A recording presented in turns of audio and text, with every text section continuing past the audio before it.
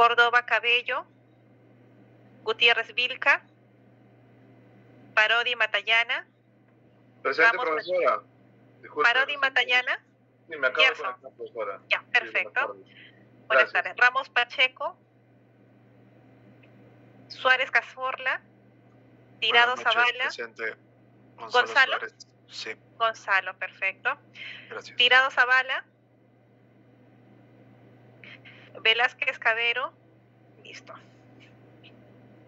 Profesora, muy buenas tardes. Eh, Miguel Córdoba, presente. Córdoba. Miguel Jesús, ¿verdad? Listo. Sí, profesora, muchas gracias. Disculpe.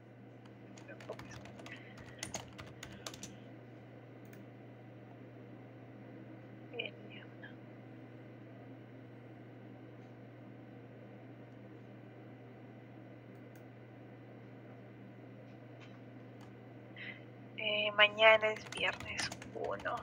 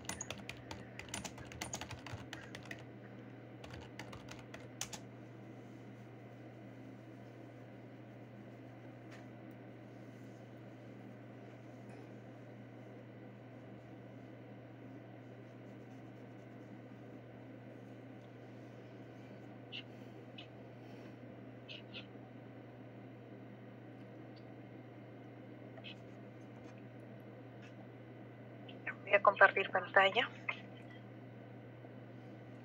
¿Recibieron eh, las diapositivas? Su compañera me les llegó a alcanzar, ¿cierto? Sí, profesora, yo envié a mi grupo, este, bueno, al, al salón las diapositivas, profesora, pero este no me ha enviado las PPTs de las clases. Eso es lo que nos falta. Sí, ya me solucionaron el problema que tenía con respecto a la clave. Hoy día ya lo pude ver, así que ya voy a empezar a subir ahí yo las, las, las diapositivas, no te preocupes. Ok, muchas gracias. Esto es este.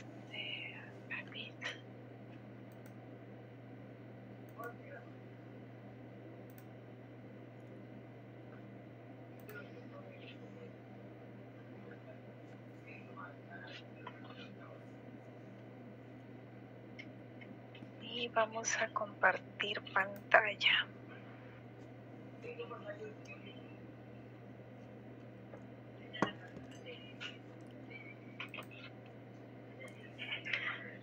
¿Me confirman, por favor, si ya pueden ver mi pantalla? Sí, profesora, se puede ver. Perfecto. Ya. Entonces, en la sesión anterior hemos visto el marco normativo eh, legal relacionado a gobierno digital y hoy día vamos a continuar con el marco normativo, pero ya específico del Sistema Nacional de Archivos.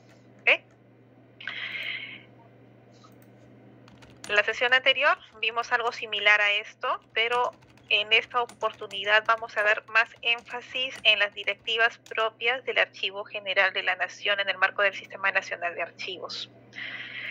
Eh, como bien mencionamos, aquí, ajá, se me escapó esto. Eh, la ley de firmas y certificados digitales y su reglamento lo vamos a ver todavía en la siguiente unidad. Transparencia y eh, datos abiertos y eh, datos personales lo vamos a ver en unidad 5. Lo, el tema relacionado a microformas digitales en unidad 3. Eh, si bien es cierto, hay muchas normativas que ha emitido el Archivo General de la Nación en estos últimos años, han sido actualizaciones eh, de la década de los 70, ¿no? cuando salieron las primeras directivas relacionadas a los procesos técnicos archivísticos que se conocía anteriormente como procesos, ahora son procedimientos. Pero todavía a mi percepción siguen siendo este, un, un enfoque todavía orientado al papel. ¿no? Entonces vamos a ver de qué manera en el marco de lo que ya está actualmente aprobadas, estas directivas, podemos aplicarlas a un entorno electrónico y si es que se pueden aplicar tal cual están descritas actualmente. El 2018 sale la primera actualización de la directiva de eliminación de documentos y me acuerdo pues que fue un boom, wow, ¿no? Eh, después de 40 años se estaba actualizando esta directiva que, que, el sector demandaba desde hacía mucho tiempo actualizaciones y actualizaciones. El 2019 no se quedaron atrás y sacaron las directivas relacionadas a la conservación de documentos, el plan anual de trabajo eh, de archivo, trabajo archivístico, transferencia de documentos, descripción de documentos y valoración documental para la elaboración del PCDA. El 2020, en plena pandemia, también salieron las directivas de servicios archivísticos y una eh, relacionada a la prevención para la ejecución de los procedimientos técnicos archivísticos en el marco del Sistema Nacional de Archivo con motivo del contexto COVID, ¿no? Algunas recomendaciones. En 2021 no hubo actualizaciones propiamente de la AGN, en 2022 tampoco, y el 2023 regresa con fuerza con la actualización de dos, de una directiva clave que digamos es la, la, el sombrero de las demás directivas, que vendría a ser la de administración de archivos y la actualización más, una de las actualizaciones más importantes relacionadas a la ley 25323. Entonces, Partamos de la ley 25323 a través de la cual se crea el Sistema Nacional de Archivos. Lo que ustedes están viendo en color azul corresponde a la actualización efectuada a través del decreto legislativo 1556 de este año, 2023. ¿no? Eh, por primera vez en esta ley se incluyen el tema de la gestión, tratamiento y preservación de los documentos de archivo en un entorno digital. ¿no? Ya estamos incluyendo dentro del Sistema Nacional de Archivo la gestión de documentos electrónicos. Por tal motivo, indica que los integrantes del Sistema Nacional de Archivos usan e implementan de manera segura y confiable tecnologías digitales para la gestión y preservación de sus documentos en un entorno digital considerando aspectos como autenticidad, seguridad, integridad, interoperabilidad, fiabilidad, disponibilidad y usabilidad, siendo parte de la gestión.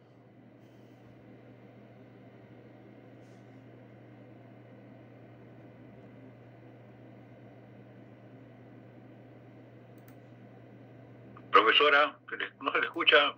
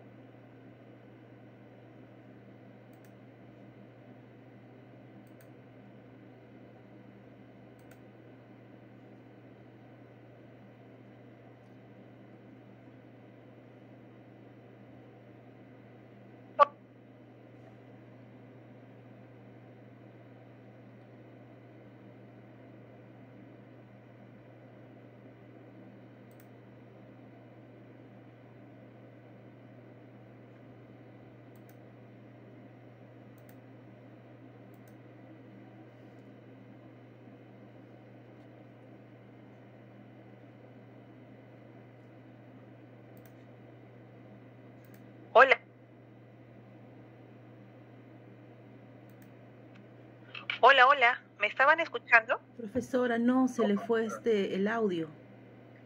Por completo. Le escribí en el chat del salón. Sí, cuando escuché el chat me dije, ¿qué está pasando? Estás hablando. Ya, ok, ¿en qué parte nos quedamos? Felizmente no avancé mucho. Veamos. Parece que mi señal se fue por un momento. Profesor, nos quedamos en la 25.323 y este, la innovación, el artículo número 9. Ya, ok, ok, ya, no se perdió mucho entonces. Entonces, eh, haciendo un resumen de lo que estaba hablando, lastimosamente no me escucharon, es de que a través de la actualización de, de esta ley, del Sistema Nacional de Archivos, por fin se absuelven nuestras dudas con respecto a que si el Archivo General de la Nación norma o no en materia de gestión documental digital. ¿No? Entonces, esta, ese decreto legislativo 1556 que salió hace un par de meses aproximadamente, que modifica esta ley, dice sí, el AGN o es función del Sistema Nacional de Archivos regular la gestión, tratamiento y preservación de los documentos de archivo en un entorno digital a través del uso intensivo de las tecnologías digitales, priorizando la transformación digital de los servicios que se brindan a la ciudadanía. Recordemos de que el Sistema Nacional de Archivos está integrado por el AGN, los archivos regionales y los archivos de las distintas entidades de la administración pública. Ok, eh, ¿estamos todos ahí? Presente, profesora. Ya, perfecto. Perfecto, ok, continuamos. Ahora, vamos a empezar por la de administración de archivos, que salió este 2023, hace unos cuantos meses atrás, se actualizó esta directiva muy importante que nos da una visión sobre en qué consiste realmente el sistema institucional de archivos. Es una, es una forma gráfica que he adecuado de lo que está en la directiva de administración de archivos. Y nos dice que el sistema institucional de archivos es el conjunto de instrumentos de gestión, ¿no? los roles de gestión, la infraestructura física, tecnológica, equipamiento y recursos y los procesos de gestión documental y archivística, tanto para la producción, incluyendo la notificación. ¿no? Y como bien mencionaba la actualización de la ley 25323, abarca tanto la gestión de los documentos de archivo en soporte papel como soportes digitales. En ese sentido, la información que proviene de los usuarios externos, que podrían ser los ciudadanos o los clientes, pueden ingresar a través de canales presenciales tradicionales como las mesas de partes, ¿no? A través de las cuales se digitaliza la información, o los ciudadanos que cada vez más hacen uso de canales digitales, como los servicios digitales que las entidades ponen a, este, a disposición de la ciudadanía o las mesas de partes digitales también, ¿no? A través de estos dos canales, la información entra en formato electrónico y se procesa dependiendo del trámite que se esté efectuando.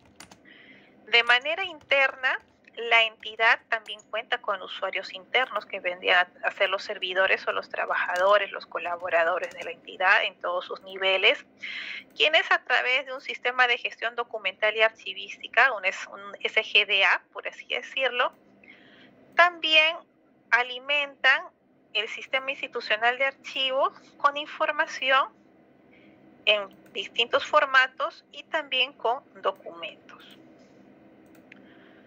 Los procesos de gestión documental abarcan la producción. Cuando se habla de producción, también otro término que se utiliza en las normas técnicas es la captura del documento. ¿no? Eh, cuando se habla de producción o captura del documento, estamos hablando de toda la información o toda la documentación emitida por la entidad en el ejercicio de sus funciones o aquella recibida de los usuarios externos a través de cualquier canal. Esta información es procesada dependiendo del, flujo del trámite respectivo y de ser el caso puede ser eh, notificada, lo que en el modelo de gestión documental lo conocen como el proceso de despacho. En realidad el proceso de despacho debió haberse llamado notificación, ¿no? Se, se enfoca a, a ello. La notificación puede ser personal o electrónica, conforme lo indica el artículo 20, si mal no recuerdo, del tubo de la Ley de Procedimiento Administrativo General. ¿Qué significa notificación personal? Que de, de acuerdo a lo solicitado por el usuario externo, la notificación puede llegar a, a su dirección física, a la dirección física que él ha consignado y autorizado en soporte papel. O también puede ser a través de medios electrónicos, y en medios electrónicos estamos incluyendo lo que es el correo electrónico y la casilla electrónica. U otro medio digital que de repente la entidad haya puesto a disposición del ciudadano, de repente las notificaciones a través de WhatsApp, ¿no? Eh, o notificaciones por mensaje de texto. Eh, u otras que la entidad eh, implemente. ¿No? Para hacer la comunicación más fluida. Y como parte de los procedimientos archivísticos, pues tenemos la organización, tenemos la descripción, la eliminación de documentos, la conservación y acá abarca todos sus soportes, la valoración, los servicios archivísticos y la transferencia de documentos. Toda esta información es procesada en un sistema institucional de archivos y es almacenada en un repositorio archivístico digital. De este repositorio archivístico digital se alimenta el SGDA y todos los sistemas de información de la entidad. ¿Qué se almacena en este repositorio archivístico digital?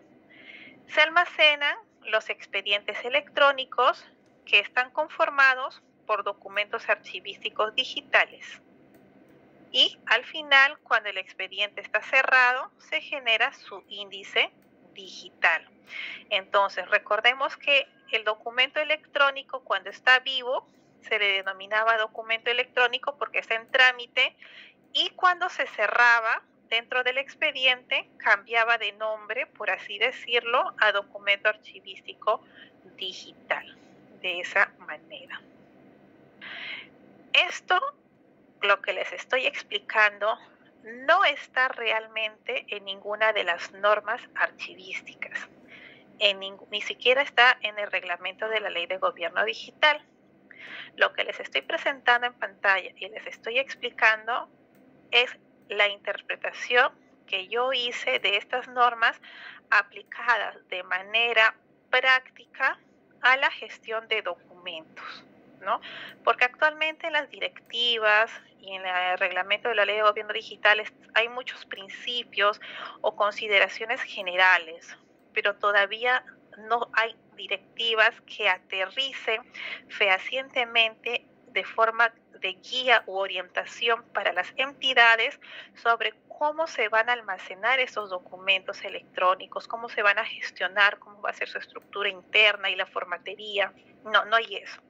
Entonces, en base a la experiencia y a la aplicabilidad que vengo dándole a las entidades, es que he elaborado esta interpretación. ¿no? Siempre procuro yo regirme a lo que establece el Sistema Nacional de Archivos y hacer calzar la gestión electrónica a las normas del SNA. Entonces, si nos dice que un sistema institucional de archivos tiene instrumentos de gestión, ¿Cuáles son esos instrumentos de gestión? El MGD, el modelo de gestión documental que me comentaron de la PCM que se está actualizando. Así que prepárense porque va a salir la versión 2 del MGD. El plan anual de trabajo archivístico, ¿no? Ese que se aprueba anualmente y que también a fin de año se remite los, los resultados de lo planeado. El programa de control de documentos archivísticos es un instrumento de gestión muy importante para determinar la valoración de los documentos, de los expedientes y su periodo de retención. y todas las normativas internas y otras externas que rijan sobre la materia. Como parte de los roles para la gestión, tenemos el rol directivo. El rol directivo que vendría a ser el Comité de Gobierno Digital, como vimos la semana la, la clase anterior, perdón. El Comité de Gobierno Digital ejerce el rol directivo del modelo de gestión documental y la oficina o el órgano de administración de archivos, el OAA como se lo conoce, con su calidad también de rol directivo y operativo en algunos casos.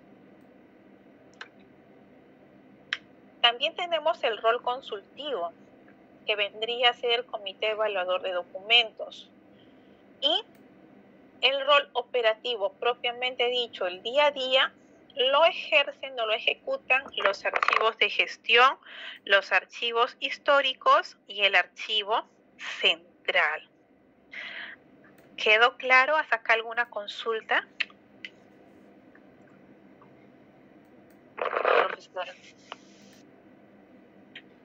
Traté de hacerlo lo más entendible posible. Profesora. ¿Sí? Una, una consulta. Yo sé que está separado aquí. También acá está interesante pero dice proceso de gestión documental y archivística, cuando se habla de producción, captura, ¿no? Este, se entiende, ¿ya? emisión, recepción, notificación y despacho personal, ¿no? Este, electrónica. Cuando hablamos de notificación dentro de un proceso de gestión documental y archivística, hablamos que de un proceso de que ingreso la data al sistema, o que este, eh, guardar el documento en el sistema, porque se entiende que estamos más abajo, hay otro cuadro que indica, pues, ¿no?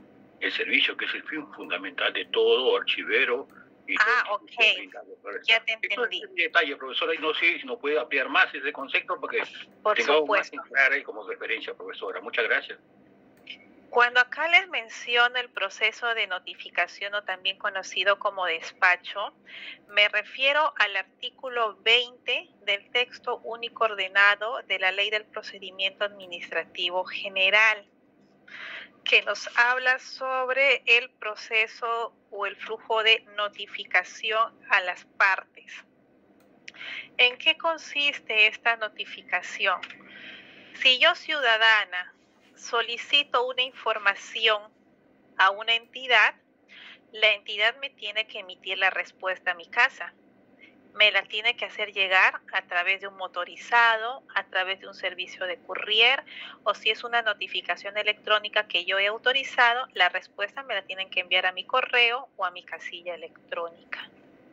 A eso se refiere el proceso de notificación. Notificación personal, lo puse personal porque así lo establece la ley de procedimiento administrativo, o física. Es decir, yo quiero que me notifiquen a mi casa en papel, porque el expediente que estoy solicitando es muy voluminoso y en mi casa no tengo, no tengo impresora. Así que tu entidad estás en la obligación de imprimirlo y mandármelo a mi casa. Esa es la notificación personal, a mi dirección física. La electrónica es cuando de repente a gusto del, ciudadano dice, ya yo no quiero que me entregues papel, mándamelo a mi correo electrónico más fácil. Y autorizo que lo manden a mi correo electrónico o a una casilla electrónica. El proceso o el procedimiento de servicios archivísticos es propio del archivo, ¿no? Que puede ser para un usuario interno o para un usuario externo. Normalmente los archivos no brindan servicios directamente a la ciudadanía, sino que la ciudadanía se comunica cuando se trata de transparencia, ¿no? O incluso de cualquier otro procedimiento core, se comunican con el órgano responsable. Si el órgano responsable no tiene la información que el ciudadano está solicitando o necesita para su trámite, la solicita al archivo y el archivo le responde a ese órgano y el órgano al ciudadano. Como el órgano funge una especie de, intermediario, por así decirlo. ¿No? Son muy pocas las veces en las que eh, el archivo brinda información directamente de cara al ciudadano. ¿no? Y normalmente la notificación se tiene que regir por lo que indica el procedimiento administrativo general. No sé si con eso respondí tu consulta. Eh, me parece interesante, profesora, toda vez que, si bien la, la 2744 no este, eh, indica esto, es bien, bien este, definida ahí, ¿no? Pero hace también, este, no correlaciona con lo que brinda el, la 5T23 en función de los servicios.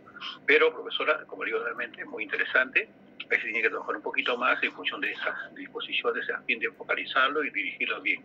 Pero a su vez, profesora, hay archivos que sí brindan, este, ¿cómo se llama? Información directa, ¿no? A mí me ha pasado ya dos veces que necesitaba mi historia, mi historial laboral de más de 21 años de servicio, de trabajo, y me lo ha brindado directamente mediante un, un aplicativo y un, este, un sistema y directo, ¿no? El IVO, ¿no? Es una, como decir, eh, también lo que brinda el Ministerio de Educación, el, el legajo de personal, ¿no? Entonces, ellos también brindan casi directo, profesora, porque usted va, ¿no? Se identifica con su DNI y inmediatamente le entrega para cualquier trámite que usted esté interesado. La gestión pública se está este, recomponiendo producción en función de los buenos servicios. Eso es cierto. Eso es cierto, ¿no?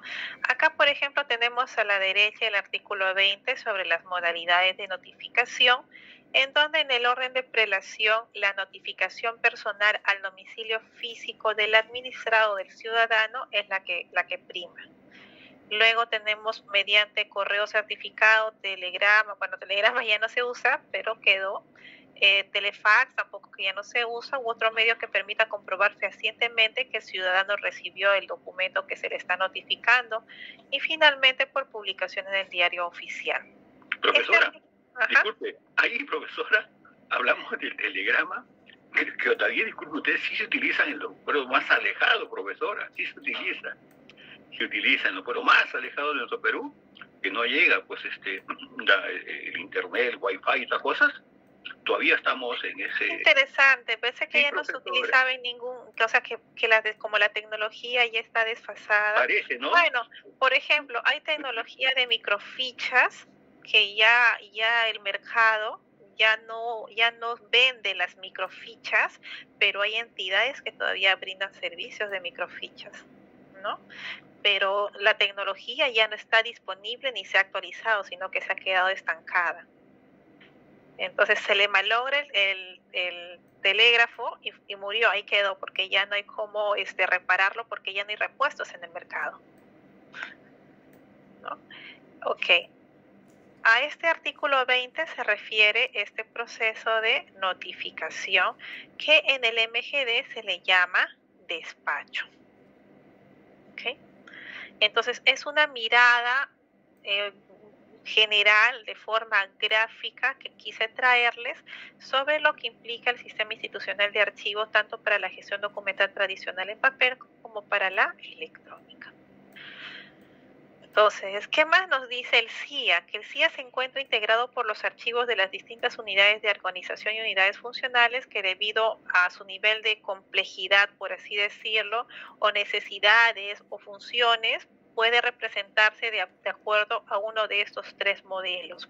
Es decir, hay entidades que solamente van a tener archivo central y archivo de gestión. Nada más. Hay entidades que van a tener archivo de gestión, archivo central y también archivo periférico. Pero hay entidades que el Archivo General de la Nación se ha dado cuenta que adicionalmente los archivos periféricos este, también van a tener archivos históricos, ¿no? Y en el caso de los regionales, archivos desconcentrados. Entonces, la entidad, al momento de aprobar su sistema institucional de archivos, tiene que evaluar a qué modelo se adecua más su administración interna de archivos, ¿no? Por ejemplo, entidades como Perú Compras podrían aplicar el modelo A, ¿no? Pero, por ejemplo, Ingemet, Ingemet este, es una entidad en la cual podría aplicar muy bien hasta un archivo histórico, ¿no?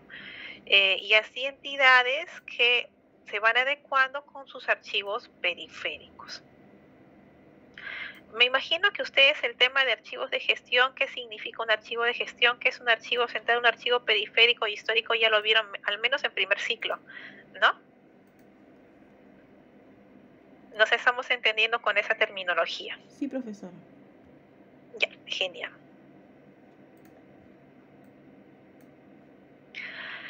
Luego tenemos la valoración documental, la valoración de los documentos de archivo.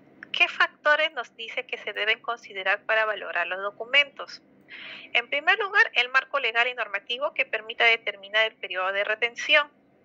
Todo lo que se refiere, por ejemplo, a las historias de las personas, historias de salud propiamente, este, normalmente menor a 25 años no es, si es que no es permanente. Como las historias clínicas, que en algunos casos incluso eh, trascienden eh, a la misma persona. La persona ya pudo haber fallecido y se sigue conservando esa documentación eh, por temas relacionados a problemas hereditarios hacia sus descendientes, ¿no? O por ejemplo las actas de nacimiento, matrimonio, de función, ¿no? Esas no son permanentes definitivamente, se siguen archivando, a pesar de que la persona que, que, el acto de nacimiento dio origen, ¿no? Y la persona ya falleció, se siguen almacenando por temas también de, herencias, ¿no? De historia hacia los descendientes. Eh, todo lo que tiene que ver con las propiedades, ¿no? Eh, el contexto de producción que da origen a la serie documental, ¿no? Eh, la importancia de la unidad de organización productora, por ejemplo, si estamos en el, en el Ministerio de Salud, eh, se entiende que va a tener mayor relevancia o importancia para su conservación aquellos documentos producidos por las unidades de organización core de salud, ¿no? más que por las unidades organizacionales de apoyo, ¿no? Como, no sé, recursos humanos, administración, logística, a eso se refiere. La frecuencia de consultas de cada serie documental, con qué frecuencia se consulta esa información. Las características de los documentos, no necesariamente al soporte, ¿no? No, no que es papel, que, papel de 70 gramos no, no se refiere a las características de los documentos, sino en cuanto a su estructura y, este, y contenido. La protección de los datos personales y accesibilidad a la información pública. Ya estamos hablando de la, del nivel de clasificación de los documentos. Información, por ejemplo, de la DINI, ¿no? que es mucho eh, clasificada, no menos de 20 años, 15 años, ¿no? Opinión técnica del archivo central. El crecimiento o volumen de la serie en el archivo de gestión o archivo central y su migración o sustitución de soportes. ¿no? Son algunos factores que se consideran al momento de valorar la documentación. Entonces, he identificado que hay muchas entidades que valoran la información dependiendo del soporte. Por ejemplo, la serie documental resoluciones. Tienen una serie documental resoluciones para papel y otra serie documental resoluciones para electrónico. Sin embargo, como serie documental es la misma. No importa si es papel, electrónico, microficha, ¿no? Eh, el soporte, eh, la información sigue siendo la misma, la serie documental es la misma. Por lo tanto, no, hay, no habría necesidad de crear series documentales por cada tipo de soporte. Y peor aún cuando le dan valoraciones distintas. Al papel le dan 30 años o permanente, pero al electrónico le dan menos. No tiene sentido crear series documentales distintas por soporte. ¿no? La serie documental es única indistintamente del soporte de la, de la información. Y como bien sabemos, hay información permanente e información temporal. Eh, son los criterios para la temporalidad eh, eh, cada vez son un poco más, más complicados, especialmente cuando un proceso ya está judicializado o hay un proceso de investigación en la, en la fiscalía. ¿no? Hasta la serie documental correspondencia toma relevancia cuando ya hablamos de procesos penales. Por ese motivo, acá indica investigaciones sociales, culturales, de historia, memoria, que no pueden eliminarse, ¿no? A, acá faltó algo. Acá está, importancia para la investigación, ¿no? Que podría ser investigación penal también, no solamente científica o técnica. Y temporal, pues, de que una vez que ya han cumplido ciertos fines administrativos, ya son innecesarios para la entidad. Como por ejemplo, no es lo mismo que un ciudadano vaya a solicitar un este un el registro de nacimiento de su hijo a que un ciudadano presente una carta de invitación para un evento, ¿no?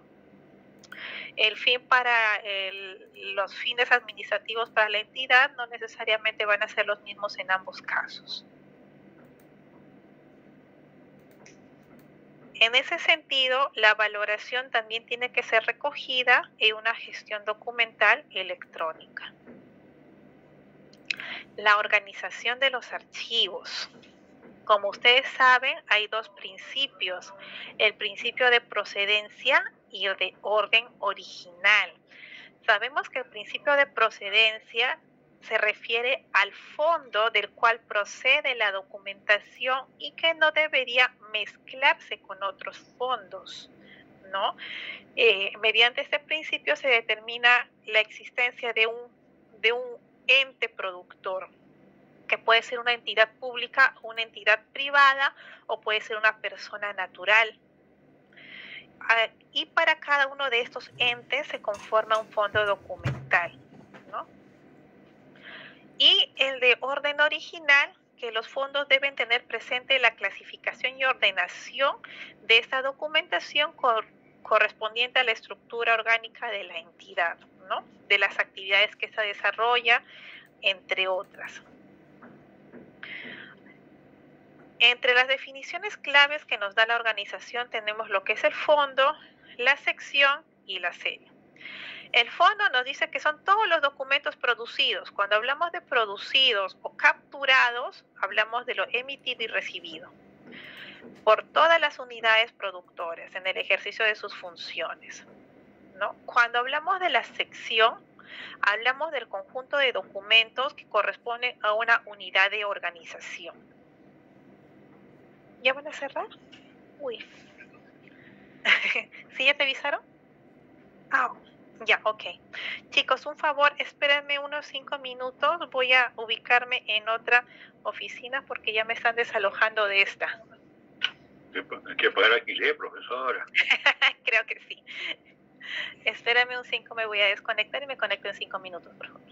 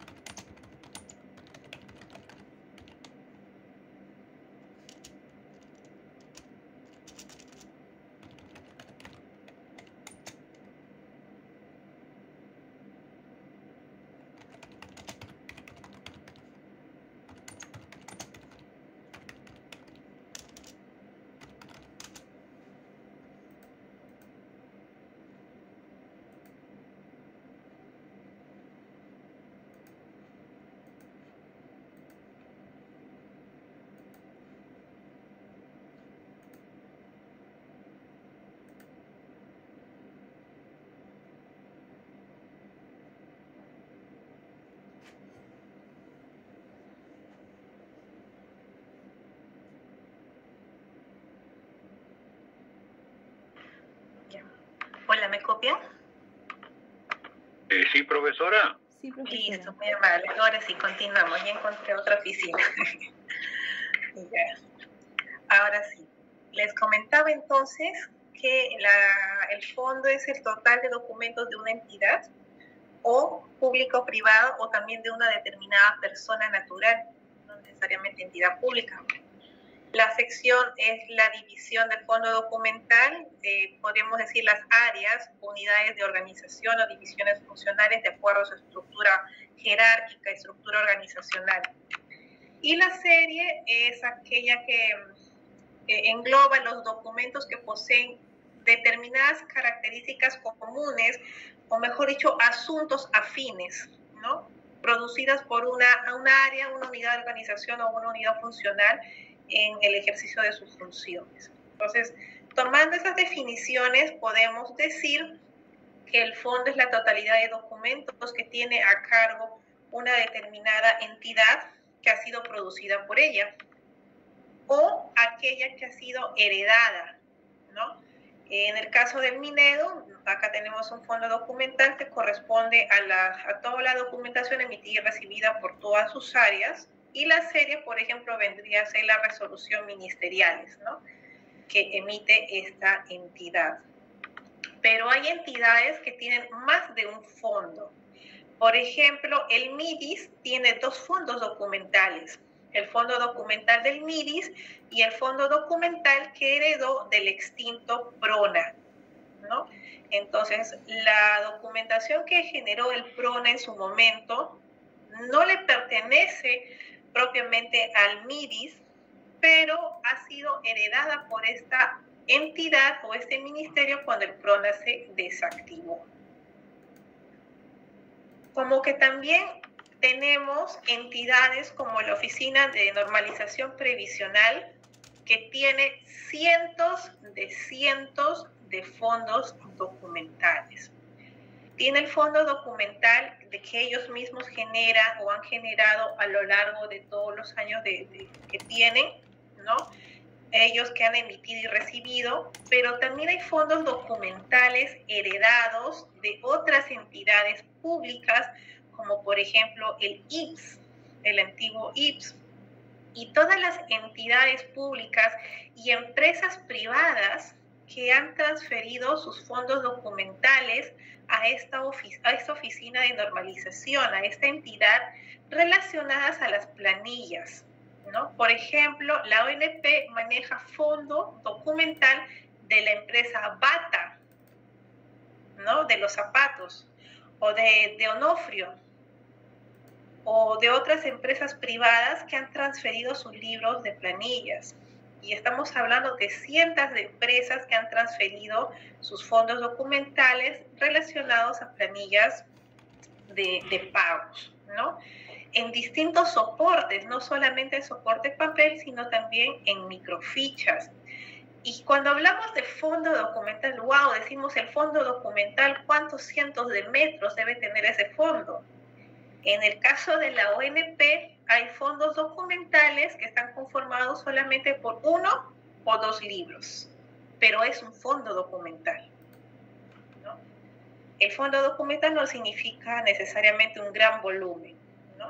Y la ONP tiene que la responsabilidad de clasificar su información, su documentación u organizarla de acuerdo al fondo, sección y serie. Eh, o Salud, que también tiene distintos fondos documentales. Bueno, no tiene tantos como la ONP, pero sí tiene unos, creo, como cuatro o cinco fondos documentales. En el caso de la ONP sí es, es este, bastante grande la cantidad de, no grande, sino son bastantes los fondos documentales que ellos administran y que día a día más empresas públicas o privadas o personas quieren transferir sus libros de planillas a la ONP. ¿no? Muchas empresas privadas extintas, muchas que cerraron, por ejemplo, durante la pandemia, que esa documentación no tienen dónde guardarla y optan por transferirla a la ONP. ¿Hasta acá alguna consulta?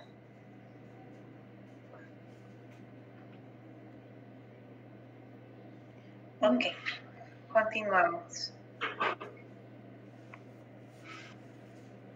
Tenemos la descripción archivística.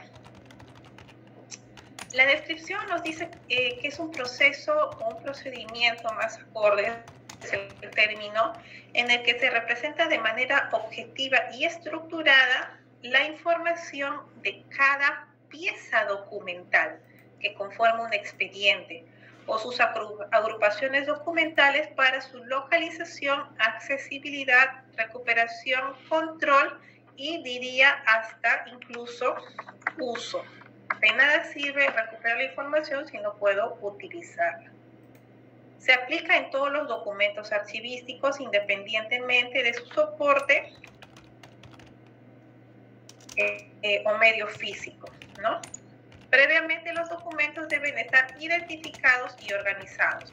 No podemos describir documentos que no hayan pasado previamente por la organización es importante identificar a qué fondo, a qué sección, a qué serie pertenecen para proceder con su descripción. Entre los elementos de descripción archivística que nos indica está el código de referencia o el código único que identifica a esta pieza documental de otras piezas, que se conoce también como signatura. El nombre o título de la unidad de descripción, el tipo documental, el número documental, el lugar y fecha de su emisión, a qué fondo, sección y serie pertenece esta pieza documental, cuál es su volumen y su soporte, ¿no? físico o digital. Y para ello se utilizan algunos instrumentos descriptivos, como por ejemplo las guías que nos ayudan a describir los fondos documentales. Eh, si, si eres el Minedo y solamente el Minedo tiene un fondo documental, sería solamente una única guía que describe ese fondo documental. Si es la ONP, tendría tantas guías como fondos documentales. El inventario, que es un instrumento para describir tanto la sección y la serie, y el catálogo para describir las piezas documentales. El catálogo tiende a ser mucho más extenso porque las piezas documentales tienen características particulares por cada pieza documental.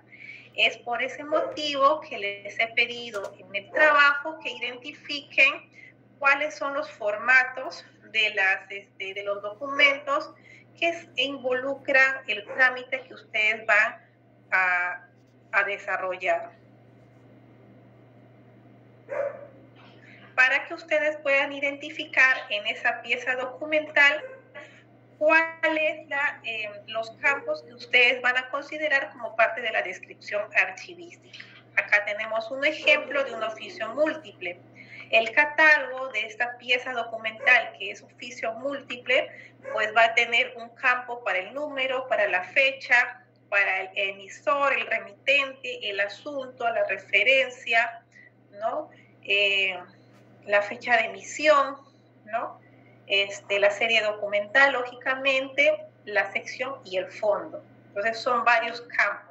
A diferencia de la guía que solamente describe de forma general el fondo a que se refiere. Y esos campos van a variar dependiendo de cada pieza documental es un catálogo por cada tipo de pieza documental. Un catálogo para oficios múltiples, un catálogo para oficios normales, un catálogo para resoluciones, un catálogo para solicitudes, un catálogo para actas, un catálogo para X tipo de documento. Entonces, ahí sí está la chamba operativa, ¿no? Pero eso es el papel, o mejor dicho, también el documento electrónico, pero lo que visualizamos. A diferencia del soporte papel, o mejor dicho, en el soporte papel nosotros solamente describimos lo que vemos y está, em, incluido, contenido dentro de ese papel. Y algunas otras características que no están dentro del papel, como por ejemplo el fondo, la serie, la sección, no están dentro del documento pero las consideramos, ¿no? Eh, pero no hay otros, datos adicionales mayores que aquellos que están dentro del documento y de soporte papel. En el caso de documento electrónico, la descripción es mucho, mucho, mucho más amplia. Mientras que una pieza documental de soporte papel, de repente tienes 10 campos, en un documento de soporte electrónico puedes tener de repente 100, 200 o 500 campos, dependiendo de la necesidad. Y es que en el entorno electrónico no solamente describes la pieza documental, el catálogo de la información que está contenida dentro del fichero de archivo, sino también toda aquella que describe su contexto. Si yo le doy clic derecho a un archivo y le doy propiedades, miren la cantidad de información que me muestra para un solo PowerPoint. Por ejemplo, esta es la información que me muestra del PowerPoint de la sesión 2. Cada uno de estos datos es un campo que tengo que considerar dentro de mi catálogo. Pero esta información no está incluida dentro del archivo PPT, sino que es información que me habla del contexto del documento electrónico. Por ejemplo, ese documento pesa 4.4 megas. Esa información no está dentro del PPT, pero es información relevante que a mí me sirve para tomar ciertas decisiones en cuanto a su conservación. Y que tengo que incluirla como parte de mi catálogo de descripción de la pieza documental. La fecha en la cual fue creada, la última fecha en la cual fue modificado este PPT, si es de solo lectura, si es oculto, eh, quién es, cuál es su título, el sujeto, algunos tags, algunas categorías o comentarios y atributos y autores. ¿no? Eh, en el mundo electrónico, la descripción archivística de la pieza documental puede resultar muy, muy extensa y ese es uno de los retos. Ustedes tienen que saber identificar qué información es relevante para considerarla en el catálogo de la pieza documental. Hasta aquí consultas.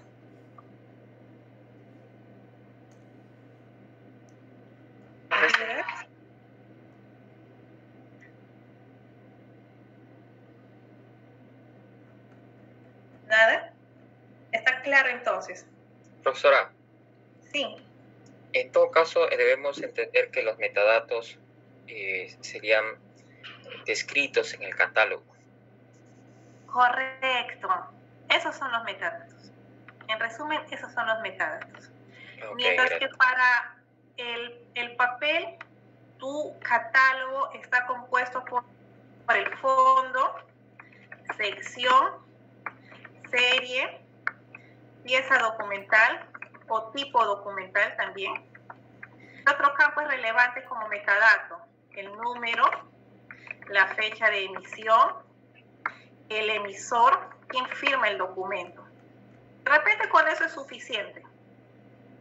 Tienes aquí siete campos en tu catálogo para una pieza documental que podría ser de repente este, informes, ¿no? Cuando el, informe es papel, pero cuando el informe está en soporte electrónico, ya no son siete campos, sino trasladamos toda esta información a tu catálogo, toda aquella que para ti te resulte relevante. Por ejemplo, el formato es PPT, ¿no? El peso tiene este 4.4 megas.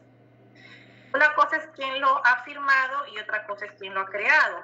De repente no es la misma persona, ¿no? Este, y todas las características que tú consideres relevante, que esto de aquí podría extenderse, como te digo, hasta 100, 200, 300, 500 columnas. Tantas como ustedes, como profesionales archivistas, puedan identificar que es relevante para este tipo o pieza documental. Y ahí tienes tu catálogo.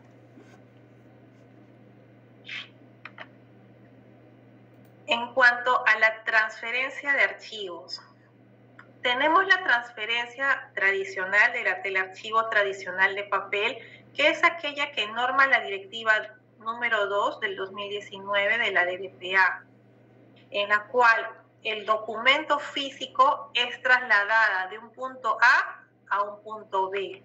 Es trasladada del archivo de gestión al archivo central. Cuando llega al archivo central ya no se encuentra en el archivo de gestión. El objeto, el documento se ha movido. Ya no existe en el archivo de gestión porque ahora está en el archivo central. Hay una transferencia física, un desplazamiento físico. Y si hablamos de documentos electrónicos, ¿cómo se hace esa transferencia? Porque finalmente todo está en un solo repositorio archivístico digital. Porque todas las áreas de la empresa, de la entidad, usan el mismo sistema. El área de logística no va a usar un sistema distinto al área de recursos humanos o distinto al de al, área core, ¿no? Es un solo repositorio archivístico digital. Entonces, ¿qué es archivo de gestión? ¿Qué es archivo central? Y sobre todo, ¿qué es archivo periférico? Si todo está junto en un solo repositorio. En este caso, la transferencia ya no es una transferencia física que se traslada de un punto A a un punto B, sino que es un estado dentro del registro que identifica que en el estado está en, trámite y después pasa a otro estado que es archivado. Sigue siendo el mismo objeto, el PDF, el Excel, el documento electrónico que tenga cualquier formato, no se ha movido del repositorio archivístico digital, no lo hemos trasladado a otro sitio, simplemente le hemos cambiado el estado de un estado A a un estado B, de un estado en trámite a un estado archivado. ¿Me dejo entender?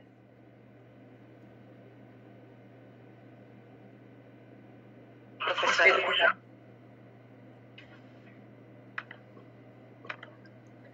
Profesora, pero claro, no me había percatado que al final, claro, se, se comparte la misma, el mismo repositorio, perdón, perdón, el mismo este, almacenamiento, como puede ser la nube, pero también, también este, pareciera ser que se va a tener eh, el archivo de gestión acceso, según usted lo está planteando.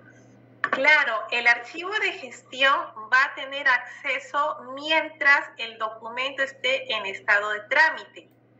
Cuando le cambie el estado de trámite archivado, el archivo de gestión ya no podría ver el documento. Los únicos que podrían verlo serían los usuarios del archivo central.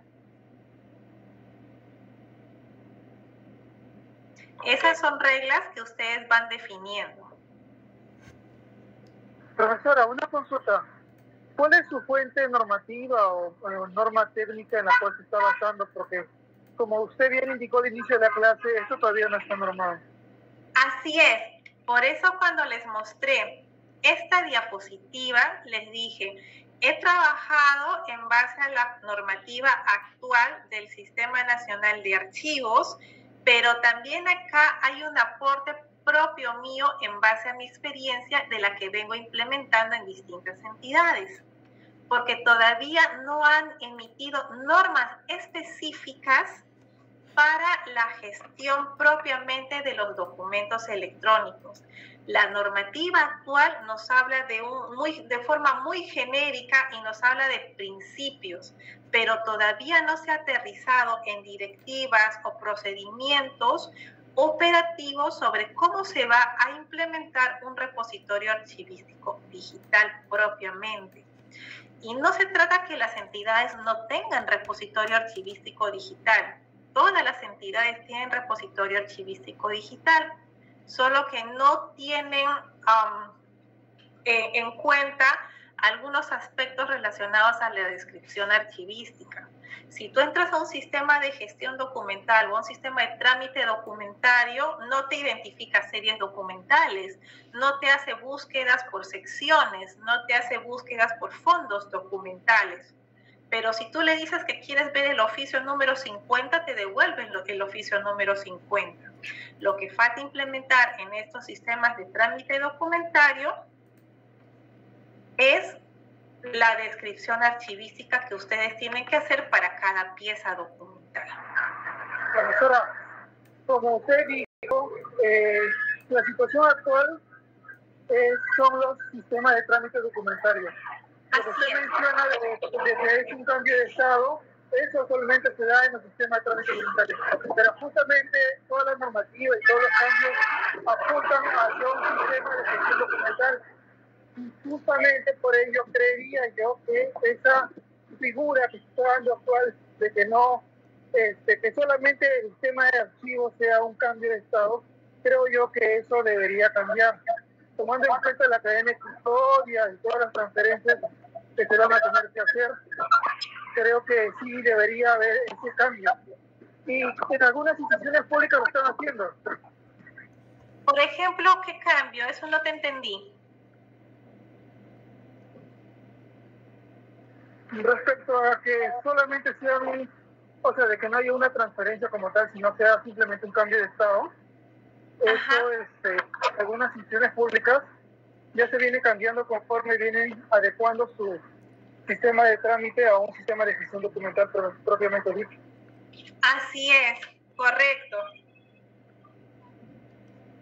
Y eso que todavía no hemos llegado al proceso de eliminación. ¿No? Ahorita vamos a entrar a ese, a ese procedimiento. Entonces, acá tenemos la transferencia que en un entorno digital es más que todo una transferencia lógica. Y, y ustedes me podrán decir, ¿y los backups? Los backups yo los bajo, los backups yo los bajo a cintas y las cintas las traslado a un archivo central, a Iron Mountain, a una empresa que almacene cintas de backups, ¿no? Pero cuando tú bajas la información a cintas de backups, no la eliminas de la base de datos tu información sigue aquí en la base de datos, pero por medida de seguridad tú generas tus backups, que son tus cintas, o cualquier este, soporte que tengas para tus backups. No es que desaparezca la información de la base de datos. Y esas cintas o esos soportes ya son trasladados pues a un repositorio este, acorde, ¿no? ¿Qué otra cosa más tenemos como, como backups, aparte de las cintas? Podemos decir las microformas, ¿no? Las microformas pueden ser CDs, DVDs o Blu-rays y el CD, DVD yo lo puedo trasladar de un archivo de gestión a un archivo central. Hay un traslado físico de un objeto que vendría a ser el medio óptico, que lo puedo trasladar también a una empresa especializada pero la información que yo he trasladado a las microformas no desaparece de mi repositorio archivístico digital. Eh, ¿Qué otro tipo de soporte más puedo tener? Básicamente estos, ¿no? Y todos estos soportes más mi repositorio archivístico digital forman parte de mi sistema eh, de archivo digital.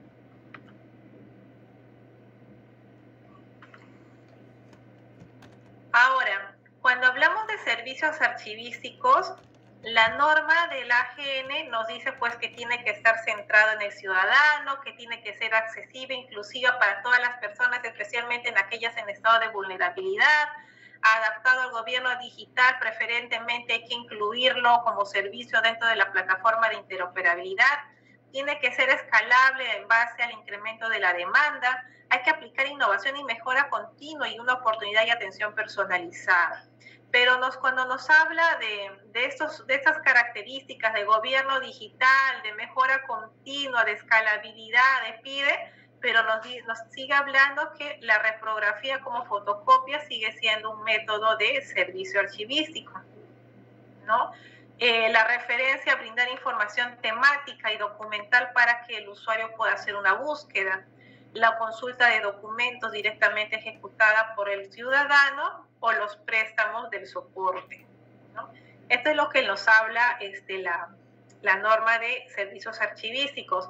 Pero servicio archivístico no necesariamente tiene que ser solicitado a un servidor, a una persona me refiero, ¿no? A un trabajador.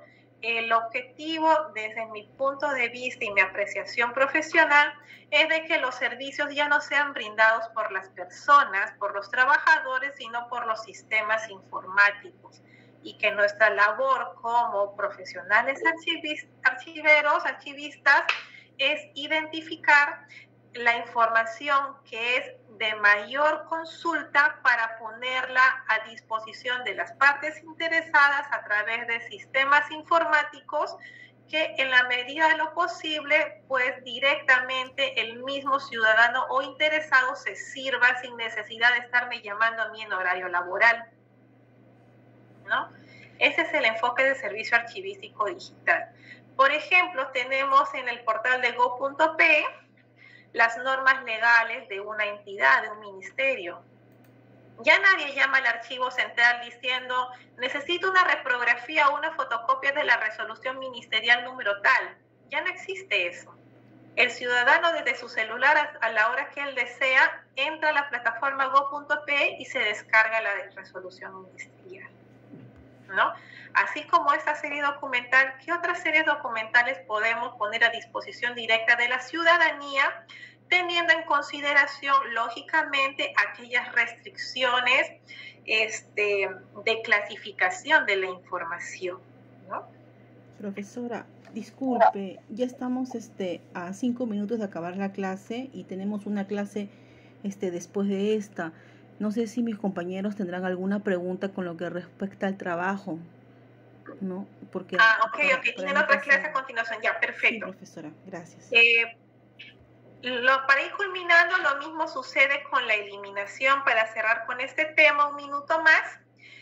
Y la eliminación, más que física, viene a ser lógica, que es un estado, ¿no? Estado activo a eliminado pero propiamente la eliminación no ocurre en base de datos porque los gestores de base de datos no han sido diseñados para eliminar información, sino que más bien se centran en medidas de seguridad para preservar la información.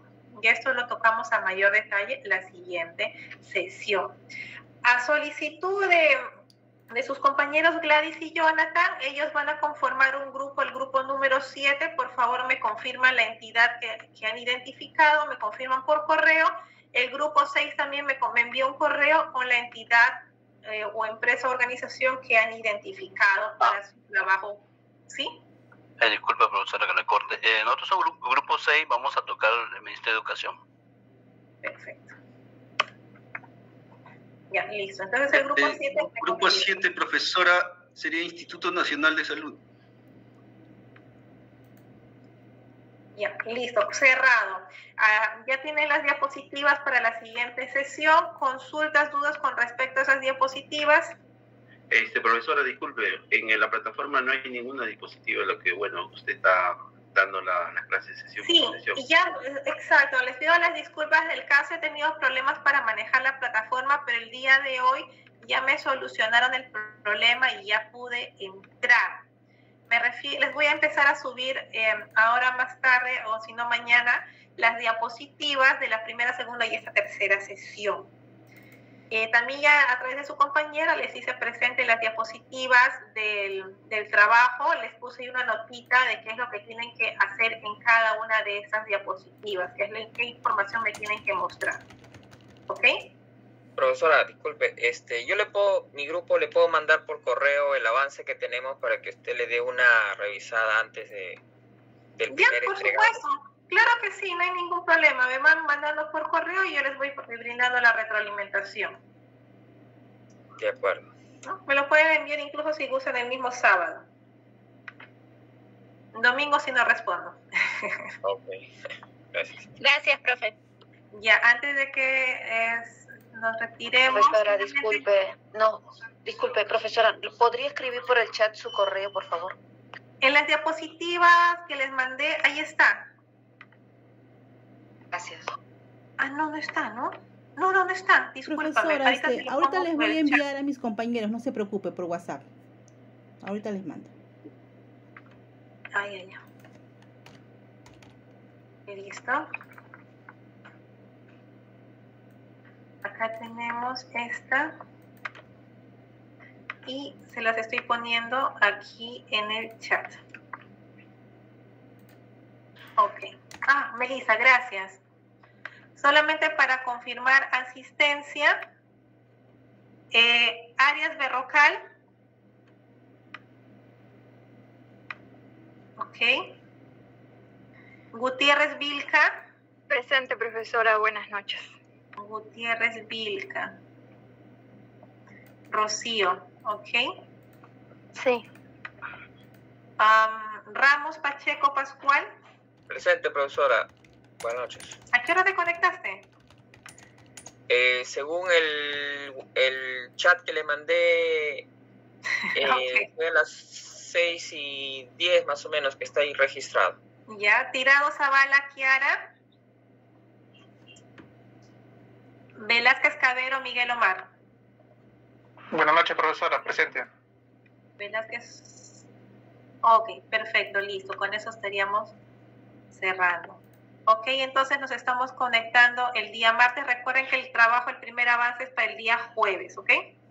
Igual me pueden ir mandando sus aportes y les voy dando la retroalimentación de vida. Listo, muchísimas gracias, que tengan buenas noches. Buenas noches, profesora. Gracias.